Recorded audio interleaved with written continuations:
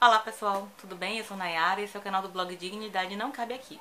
Hoje é dia de vídeo resenha, o livro escolhido é Por Este Mundo Acima, da Patrícia Reis, uma autora portuguesa que me ganhou de cara com a escrita desse livro. É um livro fininho, ele tem, deixe-me ver, 173 páginas e é muito, muito gostoso de ler. Assim, já abro essa resenha dizendo que é uma leitura mais do que recomendada, é uma leitura deliciosa, é profunda, reflexiva, é enriquecedora, é uma leitura realmente que eu recomendo para vocês.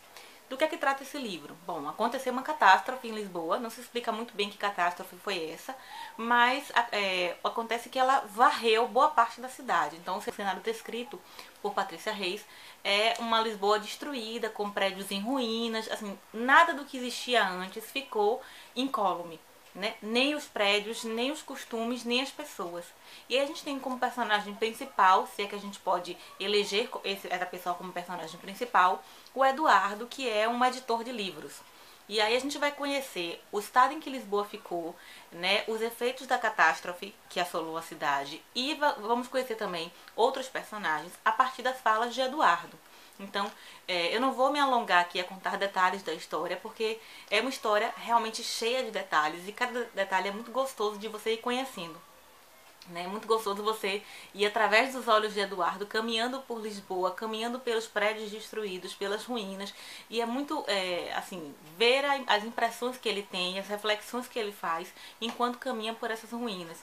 Não só ruínas é, físicas, como ruínas emocionais também. A catástrofe trouxe o fim das facilidades modernas e as pessoas foram reduzidas à condição de bestialidade. Inclusive na página 121, se não me engano, Assim como vocês podem ver, eu marquei muitas coisas, marcaria muitas outras, mas chegou um ponto que eu disse que ia acabar meus, meus, minhas flagzinhas todas marcando trechos lindos em Por Este Mundo Acima. Eu marquei só os essenciais. Então na página 125 tem um trecho assim. É, porque em situações limite, Eduardo, somos capazes de tudo, somos apenas animais. E esse livro fala muito disso, assim, tem várias temáticas girando nessa história, né? Tem a, tem a temática assim, do que é que você faz quando o seu mundo literalmente desmorona né? Tem a questão de, das memórias de Eduardo. Ele vai, como eu disse, enquanto ele caminha pelas ruínas de Lisboa, ele caminha também pelos destroços emocionais na vida dele. Então ele relembra é, das relações com a família, com o pai, com a mãe, como é que essas relações foram se desenvolvendo, né? E como elas, em que elas combinaram. Ele lembra dos amigos e todas as coisas que ele disse e fez com os amigos, coisas boas e ruins, e as coisas principalmente que ele gostaria de ter feito e acabou não fazendo por achar que tinha tempo para aquilo. E a gente sempre acha que tem tempo para fazer todas as coisas, mas a, gente descobre que nem sempre tem. E isso me lembrou imediatamente assim, eu fiz vários links enquanto li esse livro. Essa destruição de Lisboa me lembrou aquela série que eu já falei para vocês, Revolution, né, que traz uma premissa muito interessante, assim, o que é que você faz quando todo o seu mundo conhecido e moderno e com vários confortos que, você, que são tão é, comuns e básicos que você nem se dá conta da importância deles. O que é que você faz quando eles acabam da noite pro dia?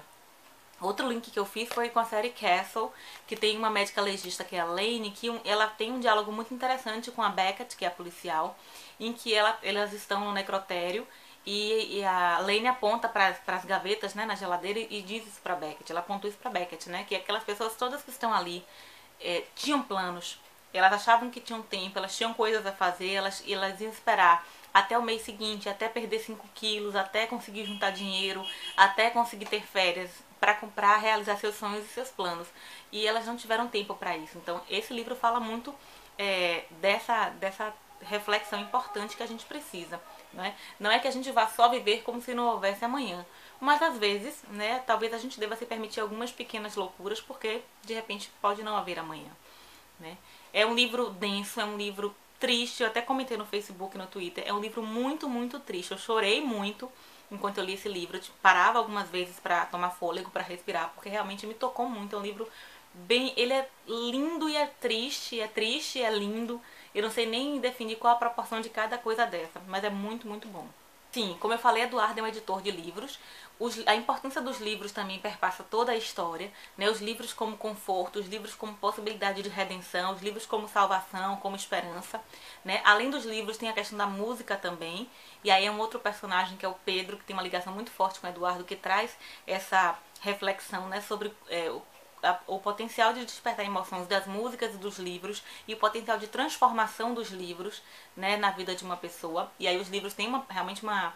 Um, os livros são personagens importantes nesse livro. Né? Acho que qualquer coisa que eu fale mais dessa história vai ser contar a história em si. Não é isso que eu quero fazer nessa resenha. Essa resenha pode e deve estar meio confusa. Eu não sei se eu consegui passar a ideia principal do livro, mas a, a ideia principal que eu gostaria de passar é que vocês deveriam dar uma chance a Patrícia Reis e ler esse livro, que é curtinho, que é rápido, você lê num tapa. Eu li praticamente é, em duas tardes, porque eu não pude ler a tarde inteira, porque senão acho que leria em uma só. É, eu não sei o que, é que a Patrícia Gomes, do Alma do Meu Sonho, tá achando, porque ela começou a ler também né, esse livro, mas é um livro muito, muito bom. Como eu falei, é forte, é tocante, é sensível, ele mexe nas feridas da gente, ele faz, pelo menos me fez refletir muita coisa, né? É, assim como Eduardo passeia pelas memórias dele, me fez passear também por mi minhas memórias. Né? E isso nem sempre é uma coisa fácil de se fazer e de se permitir. Mas é um livro muito gostoso de ler. Né? Tem passagens poéticas belíssimas, mas não é aquela poesia é, que muita gente não gosta, né? De quando o autor é, podia dizer a, a, podia narrar o evento numa frase e ele narra em cinco parágrafos. Não, ela narra de forma poética, bela e muito gostosa de ler. Parece que você realmente está lendo o diário de alguém, está lendo as reminiscências de alguém e esse alguém é o Eduardo, né? Então acho que se vocês quiserem se aventurar, eu aposto bastante nessa coleção Novíssimos. É o segundo livro que eu leio da coleção. Eu li o primeiro foi Um Piano para Cavalos Altos. Fiquei doida para ler Para Cima e Não Para Norte, que a Tati Feltrin fez resenha no canal dela. E aí li agora por este mundo acima e gostei muito. É isso, espero que vocês tenham gostado. Se, se gostaram, por favor, cliquem em gostei aqui embaixo. Compartilhe o vídeo, ajuda bastante o canal. Né? Deixem seus comentários, dúvidas, críticas, sugestões, whatever, certo? Um beijo e até mais. Tchau!